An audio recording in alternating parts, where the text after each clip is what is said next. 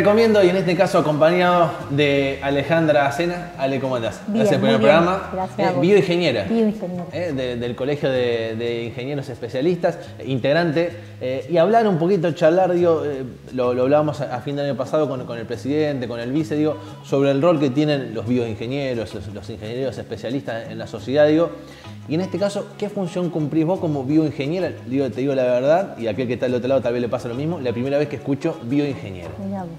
Este, bueno, los bioingenieros somos profesionales de la salud que estamos encargados del equipamiento médico. Es la ingeniería aplicada a la medicina. Como se llama un taller mecánico, el mecánico de los autos. el mecánico de los autos, pero es el mecánico de los equipamientos médicos.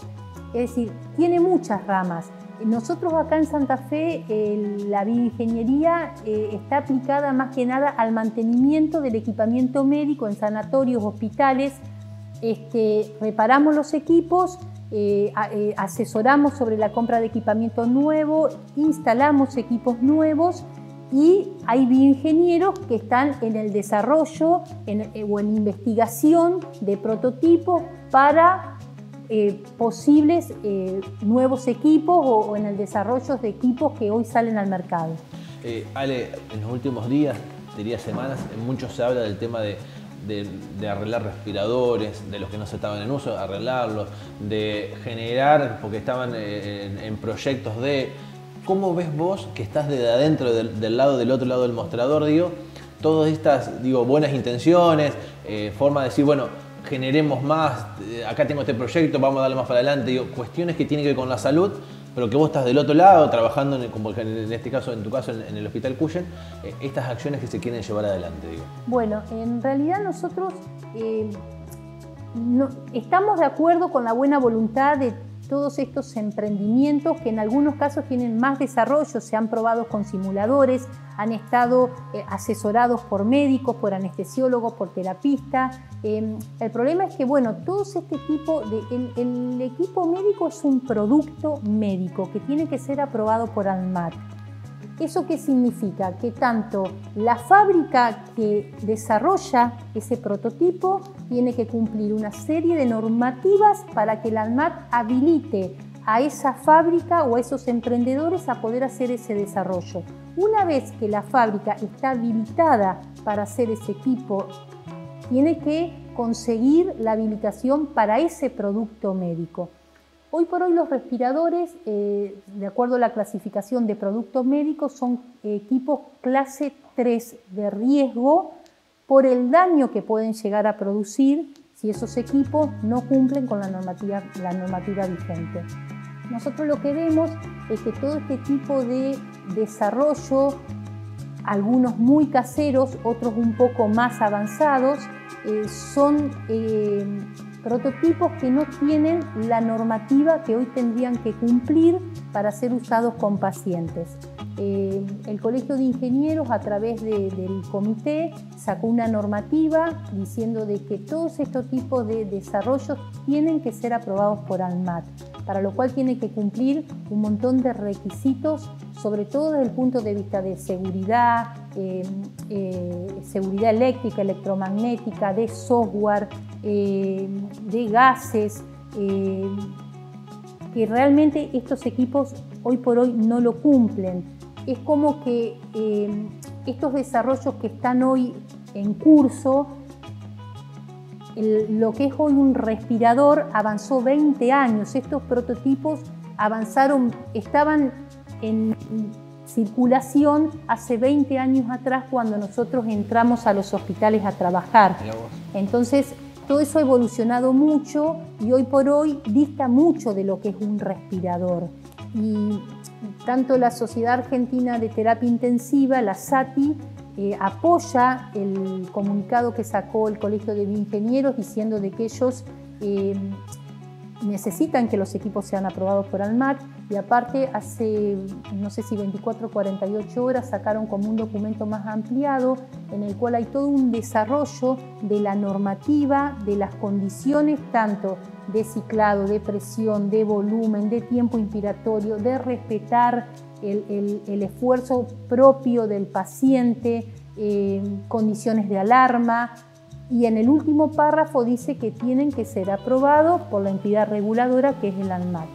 Digo, cuando empezaste a estudiar, eh, se llama, la, carrera también es bioingeniería. Sí, es bioingeniería. Desde que empezaste a estudiar, digo, en los primeros años, digo, de cuando empezaste a trabajar, tal vez, no sé si tu primera arma en el Cushing o en otro lado, digo, al día de hoy, ¿ha cambiado mucho, ha evolucionado mucho lo que son esos respiradores? Enormemente. Yo cuando entré a trabajar, eh, yo entré a trabajar en el Cushing.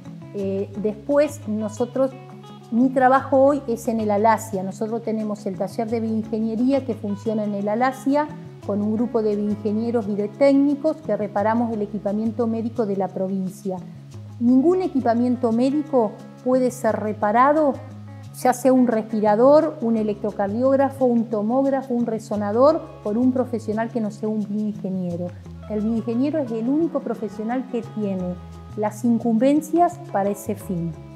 Y este, sí, con respecto a la pregunta, cuando, yo entré a trabajar al Cuyen, los respiradores que habían, el primer modelo de Neumoven, que Neumoven ahora tiene un respirador microprocesado con pantallas, con curvas en pantallas, este, con todo un desarrollo de software microprocesados, era un fuelle, era un, como una columnita así, era un fuelle de goma que eh, claro, eh, claro, que tenía un, que tenía un piolín adentro, que vos le regulabas el flujo, todo, todo mecánico, entonces vos le ponías medio, eh, medio litro, 750, entonces el piolín bajaba, el, tubo por donde se deslizaba el fuelle estaba marcado como, como, como el medidor de harina, 500, 750, un litro, bajaba, entonces no tenía ni frecuencia controlada, nada. Eh, eh, es decir, bueno,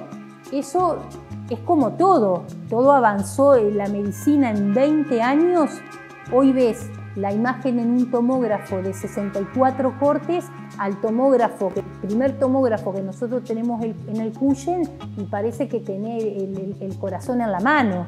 Es decir, la calidad de imagen, es decir, la, medicina ha avanzado enormemente y cuando vos ves esa evolución eh, tan importante, sobre todo en asistencia respiratoria mecánica, eh, es muy difícil que un médico terapista pueda llegar a recomendar o, a proponer el uso de estos prototipos que, le falta un montón de desarrollo para llegar a lo que hoy Nación está comprando para el COVID. El paciente con COVID normalmente que llega a asistencia respiratoria mecánica es una neumonía. Una neumonía no es una patología leve.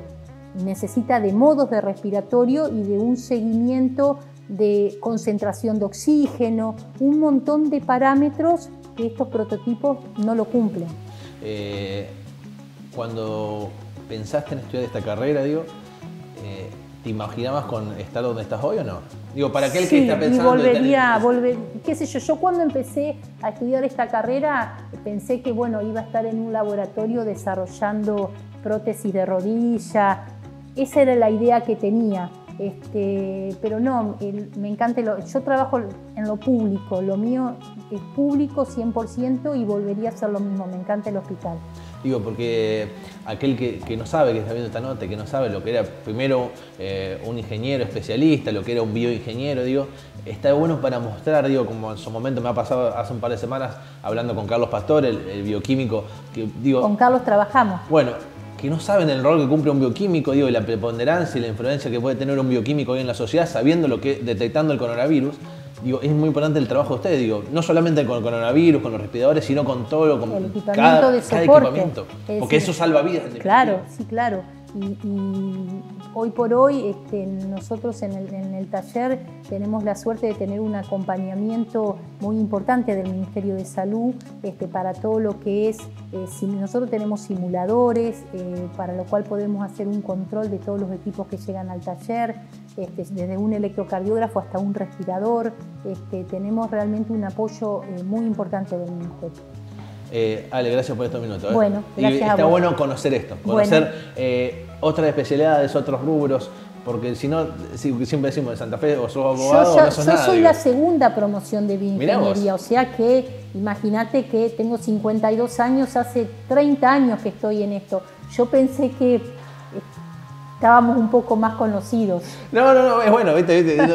Yo, tampoco soy tan grande, tengo 36, pero es bueno conocer esto porque a ver, son diferentes ramas, sí, claro. nuevas carreras, nuevas oportunidades que tal vez uno que está del otro lado ni, ni, tal vez nunca ni escuchó nombrar lo que es una bioingeniera y hoy está bueno para mostrar a la sociedad el trabajo que hacen ustedes y, que realizan desde el colegio y cada uno de ustedes eh, trabajando en especialidad. Bueno, muchísimas gracias. Gracias a vos, Alejandra. Eh, con eh, Alejandra Sena, integrante del Colegio de Ingenieros Especialistas, bioingeniera, hablando, charlando sobre la salud, que forma parte y más que nada en esta cuarentena que estamos viviendo. en este caso, recomiendo lo que es el Colegio de Ingenieros Especialistas, aquí desde el Sanatorio Santa Fe, lo recomiendo.